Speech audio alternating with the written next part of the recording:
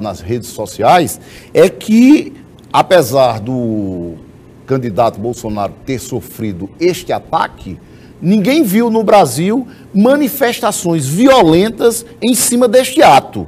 E dizem os mesmos autores que se fosse do lado contrário, Manifestações violentas? ah, exatamente. Como É, assim? é, de- depredação, é, queima de ônibus, de, de- de atos violentos contra, contra, contra o patrimônio público e particular. Bom, você viu isso em alguma cidade do Brasil? Algum retrospecto Não. histórico que tenha acontecido isso com algum atentado contra alguém? É, é Alguém do, do MST que tenha um, tocado fogo numa cidade inteira, que saído assassinando governador, Mas, mas, nós, senador? mas nós chegamos a ver isso? manifestações violentas. Chegou- mas chegou a ver isso? É, é o que estão comentando nas redes Não, sociais. É delírio, besteira. Está cheio de gente dizendo besteira Bom, nas redes sociais.